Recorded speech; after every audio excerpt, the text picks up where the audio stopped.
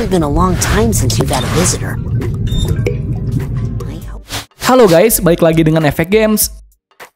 Ada banyak sekali game berkualitas PC ringan yang memberikan pengalaman terbaik di tahun ini. Meskipun tergolong ringan, berbagai game tersebut ada juga yang hadir dalam rilisan modern yang memang ringan dimainkan di PC low end. Bagi kalian yang ingin menikmati beberapa game tersebut, kami sudah merangkumnya dalam video kali ini. Sebelum kita menuju ke topik utama, jangan lupa untuk klik subscribe dan aktifkan notifikasi loncengnya agar selalu mendapatkan update informasi seputar game dari kami.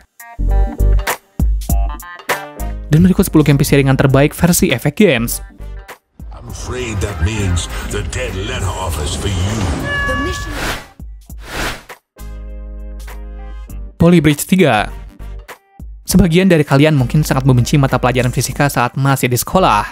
Dengan rumus yang tidak terhingga dan banyaknya hukum fisik yang menghantui isi kepala kalian, wajar jika banyak yang mengantuk saat mata pelajaran tersebut berlangsung. Namun apa jadinya jika fisika dibuat menyenangkan? Polybridge 3 jawabannya. Permainan yang satu ini memang berbeda dari yang lain. Tidak menampilkan aksi bertarung epik atau simulasi kehidupan, game ini justru dibuat untuk mengasah kemampuan berpikir kalian. Terdapat ratusan level yang mesti kalian selesaikan. Gameplay game ini sederhana saja, di mana kalian diharuskan untuk merancang jembatan di tiap levelnya. Nilai jual game ini hadir dari cara penyelesaian jembatan yang tidak linear. Apa pun yang kalian buat, tidak peduli seberapa rumitnya jembatan yang kalian buat, tujuan utamanya adalah tiap kendaraan level tersebut dipastikan untuk bisa menyeberang. Kalkulasi bahan bangunan yang dipakai dan gaya fisika yang masuk akal membuat game ini menjadi lebih seru dan tentunya menantang. Untuk keseluruhan, game ini dengan sangat baik memberikan experience fun dan challenging.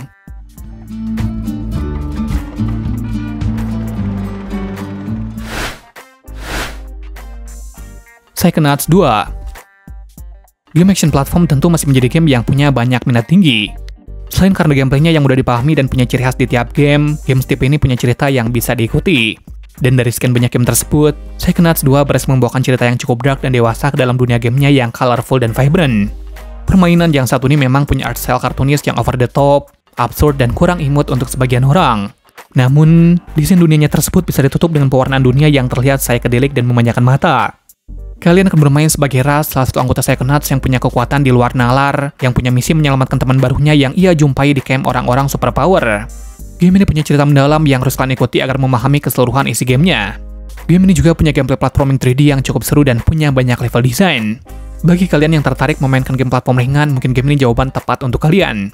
Selain punya mekanisme gameplay yang seru, cerita yang tawarkan game ini juga sangat baik dan wajib kalian ikuti. I'm going to ignore that last part.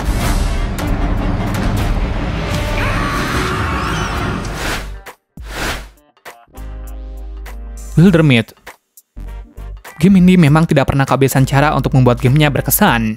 Dengan gameplay yang inovatif dan cerita yang out of the box, membuat game ini punya nilainya sendiri di mata para gamers.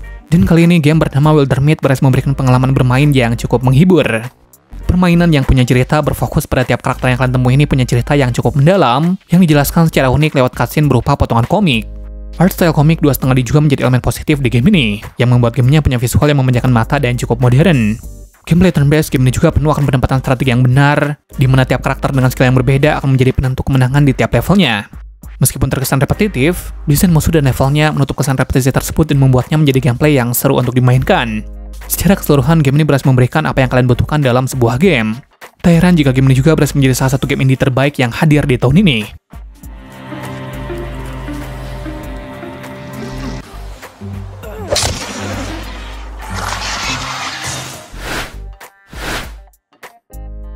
Slay the Spire Munculnya berbagai game TCG yang hadir saat ini tentu membuat genre game tersebut punya cukup banyak judul game yang punya gameplay variatif. Dari sekian banyak game TCG yang notabene berbasis multiplayer, ada satu game TCG single player yang cukup kompleks bernama Slay the Spire. Permainan yang satu ini menyajikan konsep gameplay TCG yang beda dari biasanya.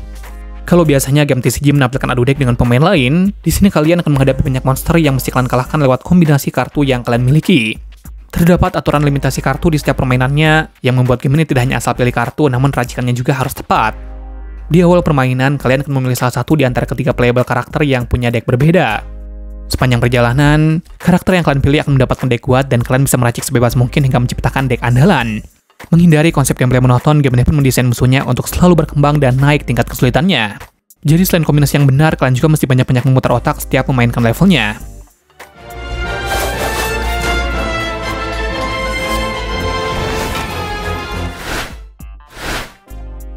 Farlight 84 Bagi sebagian orang, banyak yang mengenal game ini semula dari game mobile. Tidak salah, karena game ini juga hadir di sejumlah platform termasuk PC dan mobile. Dengan genre Battle yang semakin lama semakin meredup, Fairlight 84 berhasil memberikan pengalaman bermain yang cukup seru dengan beberapa elemen menariknya. Permainan yang satu ini memang tidak terlalu berbeda dengan game Battle Royale yang lain, hanya saja ada beberapa elemen gameplay yang membuatnya lebih fresh dan unik. Tiap karakter di game ini akan punya skill masing-masing, di mana kebanyakan skill karakter mereka dibuat sebagai utility karakter yang kalian gunakan. Dengan sedikit tambahan roket yang otoaktif ketika kalian terjun dari ketinggian, membuat mekanik tembak-menembak game ini jadi lebih kompleks. Game ini juga cukup smooth untuk dimainkan di beberapa PC dari kelas ringan hingga berat, meskipun setiap animasi di game ini cukup banyak dan punya animasi yang cukup kompleks dan detail. Bagi sebagian orang, game ini punya kemiripan gameplay, dunia, dan karakter yang menyerupai game Battle Royale lain yaitu Apex Legends.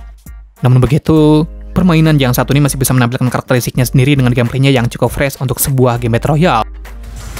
Even with new technology upgrades making us faster, stronger, we're still no match for the players. Whispering R Di tahun ini perkembangan game sudah semakin merajalela dan menuju ke arah yang semakin modern. Tidak terkecuali untuk game RPG yang kian diisi dengan story delivering via cutscene dan mekanik gameplaynya yang bertempo cepat. Dari sekian banyak game RPG di luar sana, permainan yang satu ini masih bisa unjuk gigi dengan isi gamenya yang cukup solid. Game ini memang punya desain game RPG yang terbilang jadul dan kolot. Namun meskipun punya tampilan visual yang jadul, game ini masih mampu memberikan experience yang cukup memorable. Kalian akan berperan sebagai seorang penyihir yatim piatu yang ketenangannya terusik dengan rencana perburuan penyihir oleh kerajaan setempat. Kalian akan ditemani dengan karakter burung yang punya peran sebagai plot device bernama Black Joe. Meskipun tidak membantu sama sekali dalam gameplay, namun dia juga membantu memberikan informasi yang cukup tentang dunia di game ini. Gameplay game ini juga tidak memusingkan, di mana gameplay turn-based di game ini masih menjadi gameplay utama yang mudah dipelajari. Permainan yang satu ini tampil cukup baik dengan keseluruhan yang ada dalam gamenya. Meskipun terlihat jadul, game ini mampu memberikan experience yang menyenangkan dan cukup menghibur.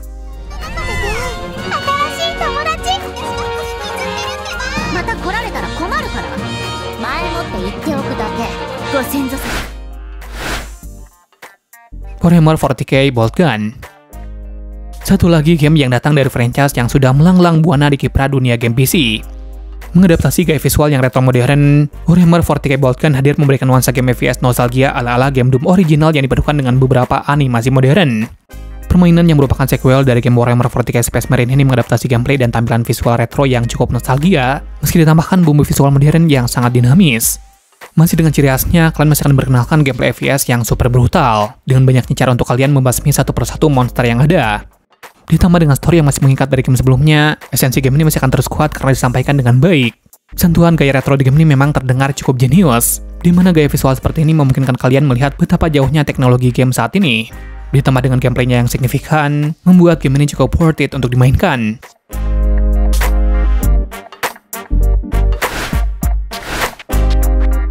Honkai Star Rail Tidak salah lagi bahwa developer Hoyoverse memang sedang dalam masa puncaknya.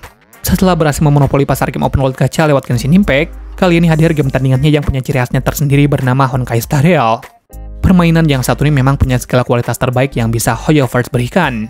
Masih dengan story yang disampaikan dengan sangat baik, kali ini kalian akan berperan sebagai anggota baru salah satu regu penyelamat planet. Kalian dan rekan kalian yang lain masih bisa menyelamatkan tiap planet dari ancaman galaksi bernama Stellaron. Mengadaptasi gameplay turn-based, kalian masih bisa menjelajahi dunia yang kalian kunjungi karena game ini juga berbasiskan open world. Gameplay turn-based yang diberikan pun cukup menantang dan seru, di mana komposisi karakter akan sangat benar-benar vital di tiap levelnya. Game ini juga mengedepankan gameplay yang seimbang, di mana tidak akan semua karakter kalian jadikan DPS karena itu semua akan sulit dimainkan. Bagi kalian yang merasa game turn-based kurang menyenangkan, bermain game ini mungkin akan mengubah sedikit pandangan kalian.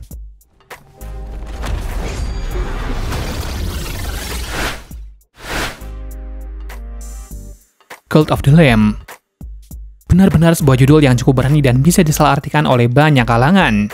Permainan yang satu ini adalah sebuah game roguelike terbaru yang menjamin kalian dengan permainan yang cukup adiktif, yang dibalut dengan visualisasi yang super imut, meskipun punya cerita yang, well, bisa dibilang dark.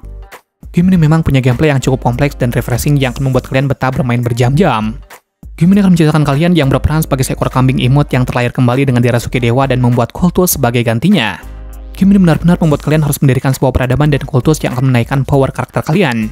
Selain aksi tarung Kedanti, kalian juga akan diberikan gameplay yang serupa dengan town building, di mana kalian juga harus bisa mengatur kota yang kalian buat. Dengan versi gameplaynya yang tidak hanya soal bantai-membantai, game ini berhasil memberikan cerita yang cukup seru ala-ala anime dengan gameplaynya yang cukup adiktif. Bagi kalian yang kurang menyukai game roguelike, kalian bisa jadikan game ini sebagai game pertama yang bisa kalian mainkan.